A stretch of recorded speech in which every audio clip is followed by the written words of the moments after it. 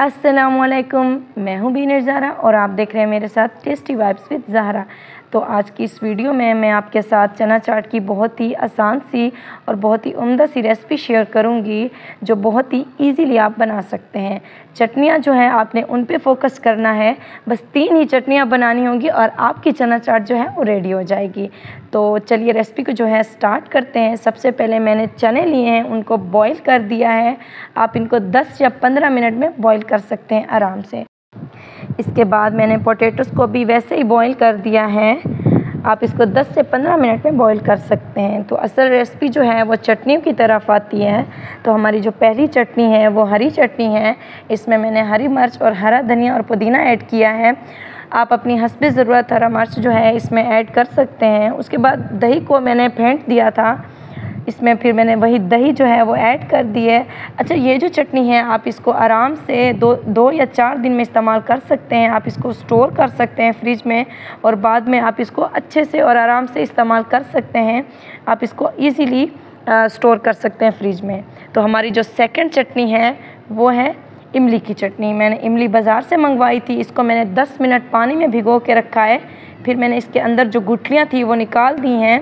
तो देखिए, हमारी जो सेकंड चटनी है, वो भी तैयार हो चुकी है। अब जो हमारी थर्ड चटनी है, वो बहुत ही ईजी है। आपने सिर्फ़ दही लेनी है, उसको फेंटना है और एक चम्मच आपने उसमें चीनी का ऐड कर लेना है। तो ये देखें हमारी जो सेक थर्ड चटनी है, वो भी तैयार हो चुकी है।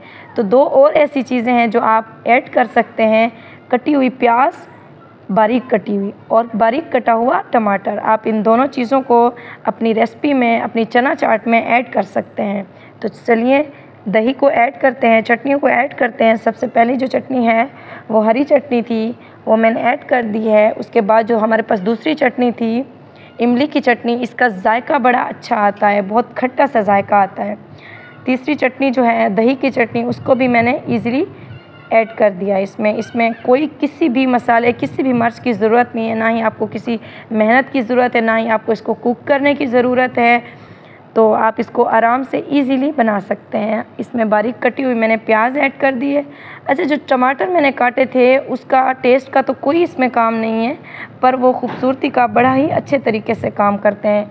हमारी रेसिपी जो है, हमारी डिश जो है, वो टमाटर के साथ बहुत ही खूबसूरत लग रही है। तो टमाटर जस्ट मैंने खूबसूरती के लिए इस्तेमाल किए हैं। अगर आप चाहें तो आप इसको स्किप भी कर सकते हैं। आप प्याज सिर्फ़ डाल सकते हैं, टमाटर को जो है आप स्किप कर सकते हैं।